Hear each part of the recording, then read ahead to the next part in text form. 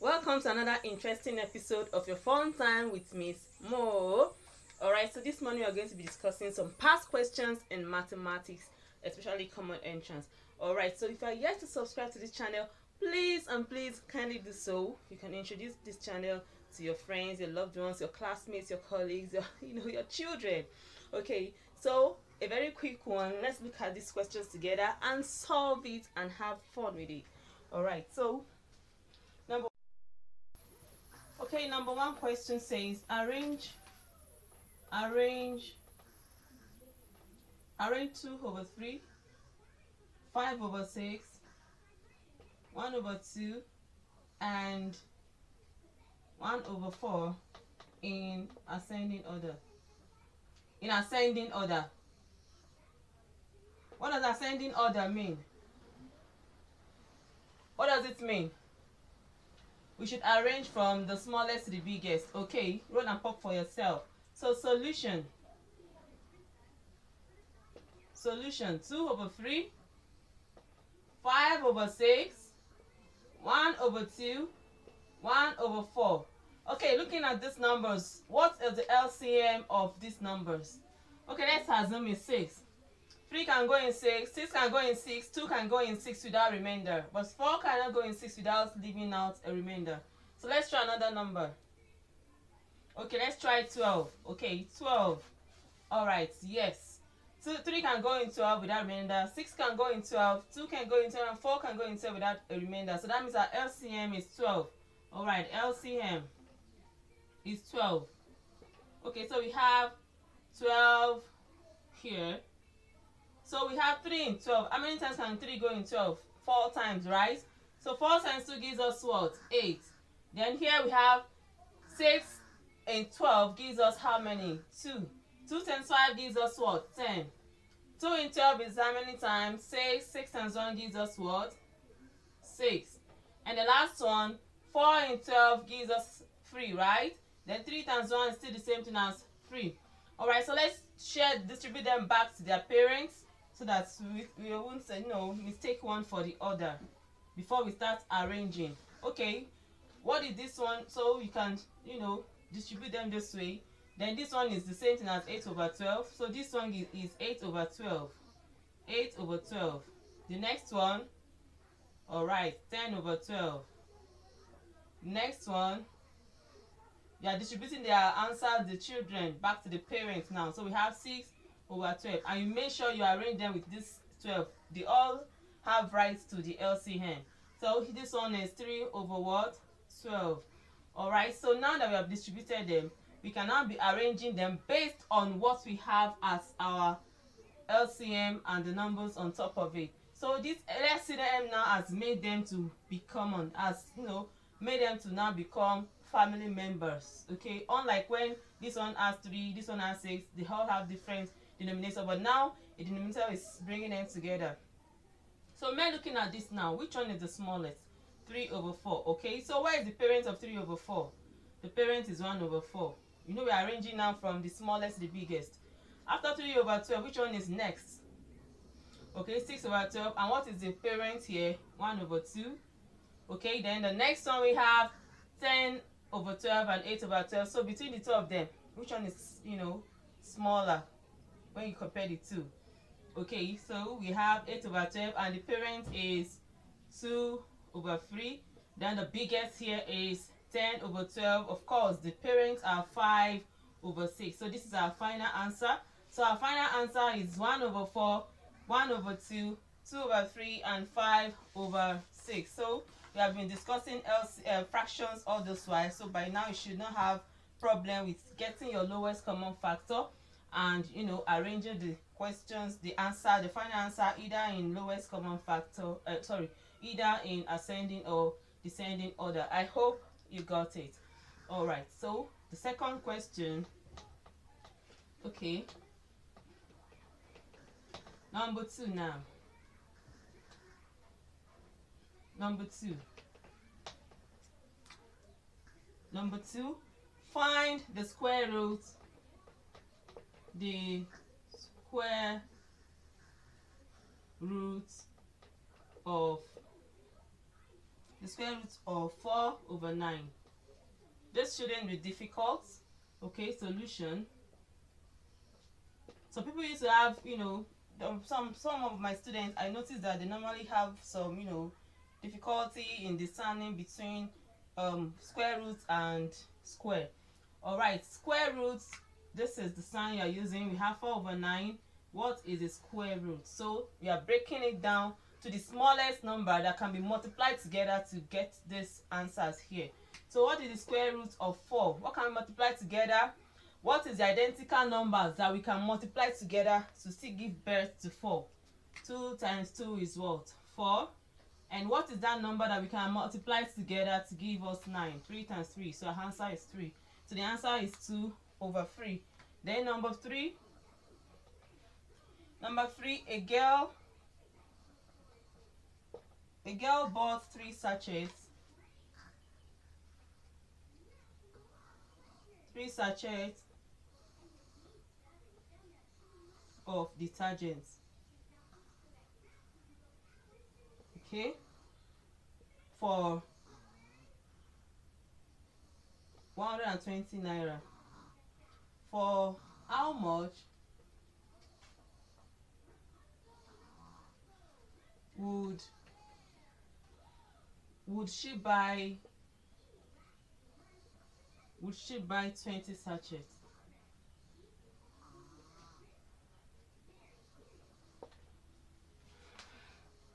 Okay a girl bought three sachets of detergents for 120 naira she bought three sachets of detergent such uh, sorry a girl bought three sachets of detergent for 120 naira. That's 120 naira. Then for how much for how much would would would she buy 20 sachets? Okay she bought three sachets for 120 naira. Before we go further we are supposed to try and know the value of one of the sachet. So thank god we know the value of three sachets. So three sachets is equal to how much did she buy it? 120 naira. So what is the cost of one sachet first? Okay so the cost of one sachet that means if she buys three sachets for 120 naira so that means one sachet one sachet will now give us 120 naira divided by 3 so with this is to give us the price of one sachet of this uh, detergent. Okay so 3 in 12 gives us 4 and we put back this 0 so that means we have 40 naira. So one sachet one sachet of detergent is 40 naira. 40 naira so you go back to your question now now that we know the value of one sachet. So for how much you should buy 20 sachets so that should be very simple now. So what do we do? Wow. We multiply 40 by 20 all right so 20 sachets we now become 40 naira. You know it's 40 naira per one.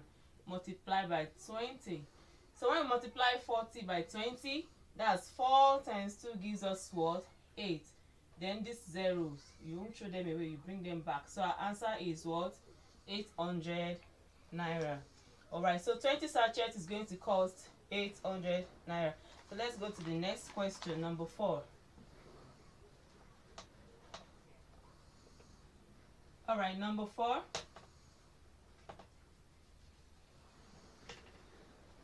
The sum of 16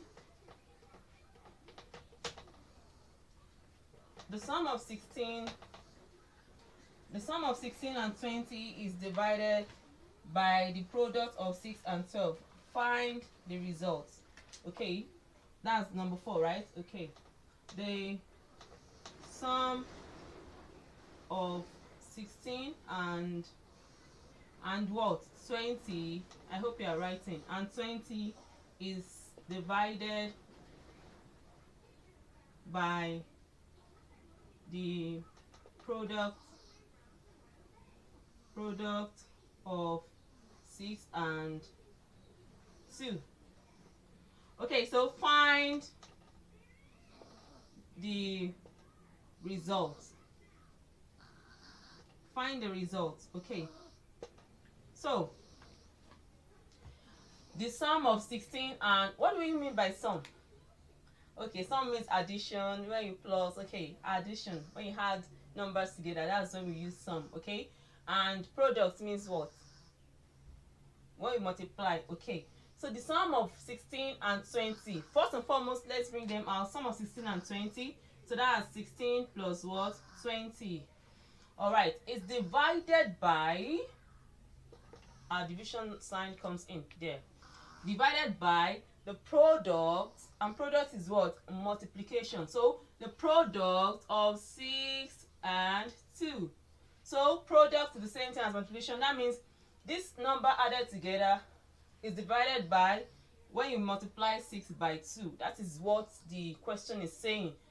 Okay, that's what the question is saying. And it's a very simple one. So let's multiply this now. 6 times 2 gives us what? 12. Alright.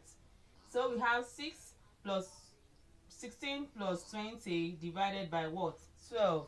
And what is 16 plus 20? It gives us what? Alright, 36 divided by 12. When you divide 36 by 12, what will be your answer? Okay, thank you. It will give us what? 3. Very simple. So our answer is 3. Okay. Number 5.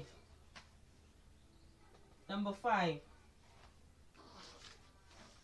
We have, if I spend, this is also fraction, and it's very simple. If I, I won't even explain this, you have to be the one explaining it to me. All right if i spend 6 over 11 of my money of my money right on books. Wow that's good. Okay what fraction what fraction what fraction of it will remain? Okay please i'm not even going to solve this with you. We have been discussing fraction for so long. So how do we go about it? If i spend 6 over 11 of my money on books what fraction of it will remain okay 5 over 11 why do you say 5 over 11 okay so our answer is going to be 5 over 11 okay the reason being that we are dealing with 11 here. Okay so if i spend 6 over 11 off my money what fraction of it will remain? So assuming you, you we have you represent this you are going to represent it with strokes now. All assuming you are representing with 11 strokes 1 2 3 4 5 6 7 8 9 10 11 all right then now I want to this are one this let's assume this is one naira, two naira, three naira, four naira, five naira, six naira, seven naira, eight naira, nine naira, ten naira, eleven naira. Alright. And I've spent six over eleven. That means I've spent six out of eleven naira. So one, two, three, four, five, six. You cancel it. So how many fraction? What part do I still have with me? Let's count together. One, two, three, four, five. So I have five over eleven. Alright, that's a good one. Thank you very much. Okay. So, what number are we now? Okay, number six now. Okay, number six. Number six. In a class, there are, yes, number six, in a class, there are 20 girls and 30 boys. Find the ratio find the ratio of girls to boys all right you are finding the ratio of girls to boys one thing about um ratio is that However, you have been given the instruction, don't rearrange. Once you rearrange, you're getting you're going to get a different answer entirely. Alright, so we have ratio of so now we're looking for ratio of girls to boys. Don't rearrange. Don't say boys to girls. With that you're getting a going to get a different answer. So what we're going to do here now is that solution now. Okay, so we have girls, right? Girls to boys. Okay, so how many girls do we have? Let's go back to the to the question. In a class, there are 20 girls. Okay, so we have 20 girls and 30 boys. Okay, so 20 to 30. Okay, so we are finding the ratio now. Okay, you can now place them over one another. 20 over 30. What can divide the two of them? Okay, 10 can go. So 10 in 20 gives us 2, right? And 10 in 30 gives us 3. Or you can just cancel the 0. It leads to 2 over 3. So our final answer is 2 to 3. Very simple. So the ratio of girls to boys is 2 to 3. Okay, number 7. I hope you're following it. If you miss out in any, you can rewind the video. Okay, so what number are we now? We're number 7. Find 80% of 20 naira. Okay, so we are finding 80% of 20 naira. This is very simple. Okay, so 80% is the same thing as, okay, our solution. 80% is the same thing as what? Faith. Okay, 80% is the same thing as 80 over 100. Alright, times how much? Okay, 20 naira. 0 cancels 0. Do you agree with me? Alright, and this 0 also cancels 0. So what do we have left here? We have 8 multiplied by 2. And 8 times 2 gives us what? 16. So our answer is 16 naira. Alright, so that is 80% of 20 naira is 16 naira. Okay. And number 8 now. Number 8. Which which of the following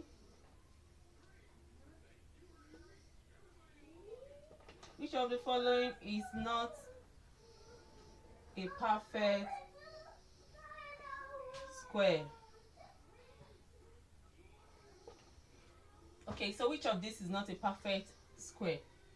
When we say perfect square that means when you divide the number you have no remainder at all. And you're still going to arrive at the double the twin number of that particular number that divides the numbers we are going to discuss now. So we have 100 we have 81 we have 65 we have 49 we have 36 so here we are looking at the one that is not a perfect square. All right a perfect square divide with divide itself without any remainder. All right so 100 what can we use in dividing 100 what is the you know the number that makes 100 a perfect square. All right 10 that's 10 times 10 right? 81 gives us so 100 is the same as 10 times 10 so this is perfect this is perfect good. 81 is equal to 9 times 9 right? So perfect perfect. So 9 times 9 gives us 81 65 what can multiply together? What two numbers can we multiply together that will give us 65 it has series of numbers that can multiply it. So it's not a perfect square. So let's see 49 before we conclude. 49 is 7 times 7 perfect. Good. Then 36 is equal to 6 times 6 good. All right. So the one that is not a perfect square. So 65 is not a perfect square. It's not a perfect square.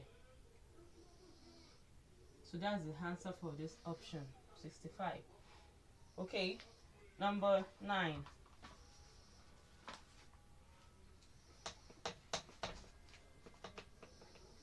number 9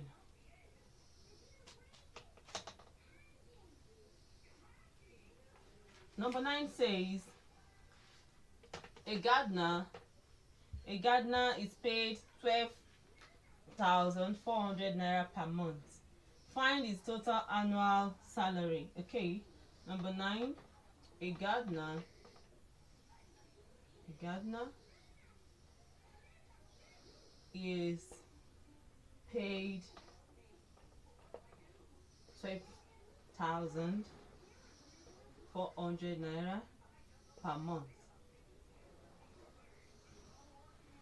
okay find is total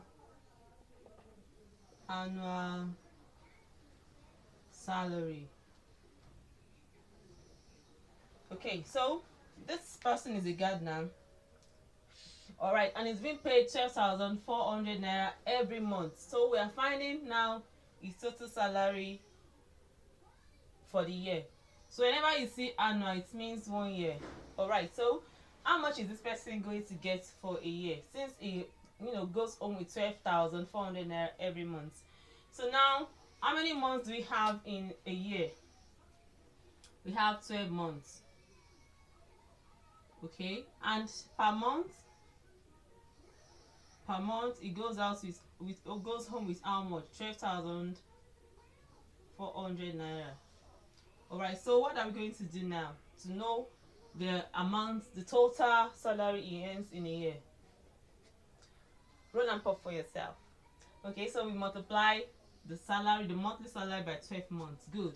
So 12,400 multiplied by 12. Alright, I'm waiting. Calculate it for me fast.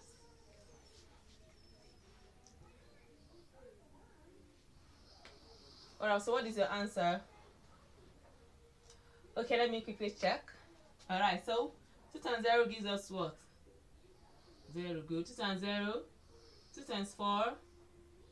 2 times 2. 2 times 1.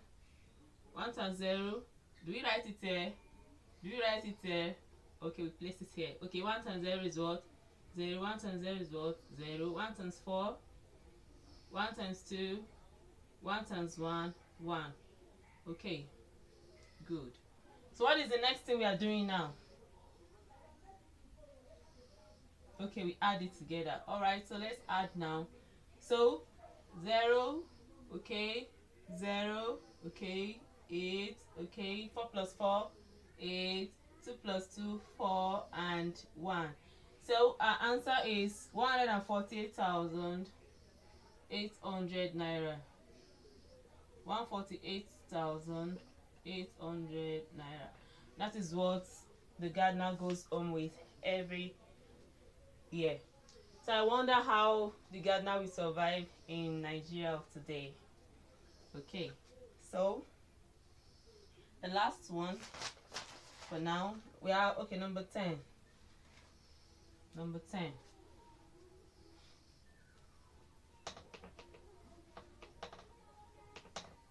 number 10 we have a can of juice. Number 10 a can of juice okay costs 120 naira. How many cans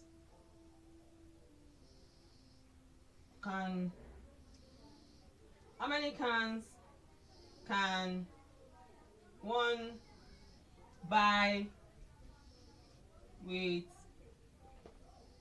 960 naira. This is similar to the one we did earlier. All right so a can of juice costs 120 naira. How many can can one buy with 960 naira? Thank god we know the cost of one can. All right we know the cost of one can. So how many can of juice can we buy with one 960 okay let's see a can of juice is how much? 120 so now i have 960 naira with me. So how many 120 naira can i bring out of my 960 naira? So what sign are we using there? Multiplication no. Okay i have 120 naira. I, I can I get it I can get it I got a can of juice it's 120 naira. Now I'm so big. I have a lot of money on me. I have 960 naira now. How many can now how many 120 naira can I bring out of my own 960 naira? Okay so division thank you. So we now have 960 naira right divided by so we have so our answer is 960 naira divided by 120 naira. So 0 cancels 0 so 96 divided by 12 gives us what? Fast please. Okay 8 so that means you can buy 8 cans of juice. 8 cans of juice with 960 naira. All right i hope you enjoyed that short um i hope you enjoyed that short um math time the short solutions the short discussions. All right this is part one. In my next video i'm going to continue which will be my part two. Let me give you a little time to go over again. You can watch this video rewind it go over it again. There's no need to rush.